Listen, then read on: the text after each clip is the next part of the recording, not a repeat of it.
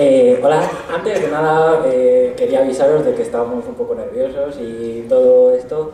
Y he de decir que se ven preciosas las luces porque solo veo eso, porque estos focos pegan de puta madre.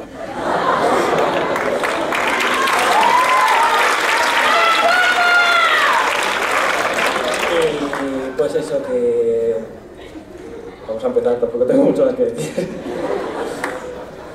Eh, pese a que muchos lo veían muy lejano, este día por fin ha llegado. Recuerdo verme con 12 años dispuesto a enfrentarme a aquel territorio completamente desconocido para mí, del que mis únicas referencias habían sido películas estilos High School Musical.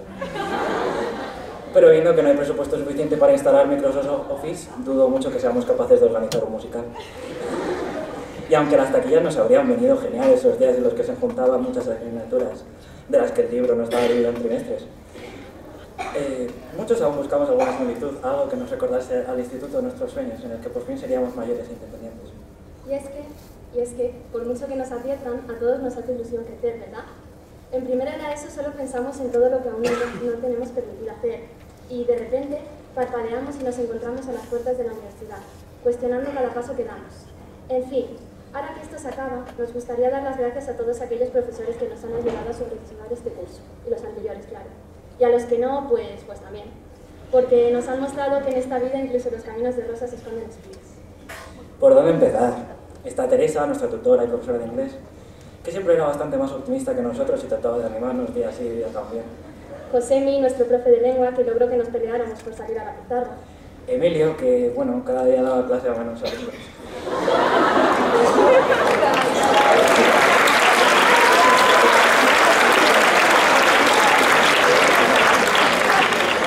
Oliva, la única profe de historia capaz de meter a los catalanes en todos los periodos de la historia de España.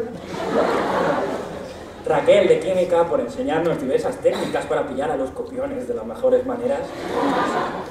Y Jesús, de física, que, aunque nos abandonaras, lo tengo aquí un poco dado, supiste ilusionarnos por la física.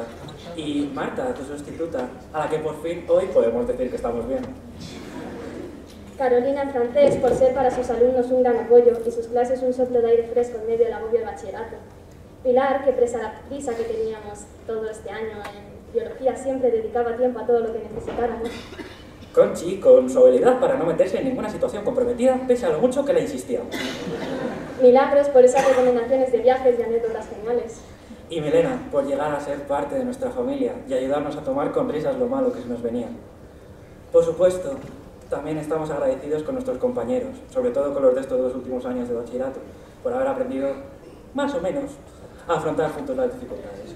La verdad es que, a pesar de todas las diferencias, los roces y las peleas, cuando uno lo necesitaba siempre encontraba a alguien dispuesto a ayudarle y a darle apoyo. Así que, quien crea que lo más importante en el instituto es lo que se aprende en las aulas, está muy equivocado. En verdad, lo único que dura para toda la vida son los vínculos que hemos formado durante todos estos años. Hoy somos más conscientes que nunca de lo que se avecina, de que se avecina una nueva etapa. Algunos irán a la universidad, otros harán un grado superior, otros a lo mejor empiezan a trabajar. Pero lo más importante es que cada uno se dedique a lo que de verdad le apasiona. Y es que en esta vida al final lo único que nos queda es la satisfacción de haber sido feliz. Dicho esto, pensad que la graduación no es ni un principio ni un final, sino que simplemente es un día en el que nos llevamos a casa todo lo aprendido a lo largo de nuestra estancia en el instituto, así como grandes amistades y buenas experiencias, y dejamos atrás los malos recuerdos. Así que mucho ánimo a por todos.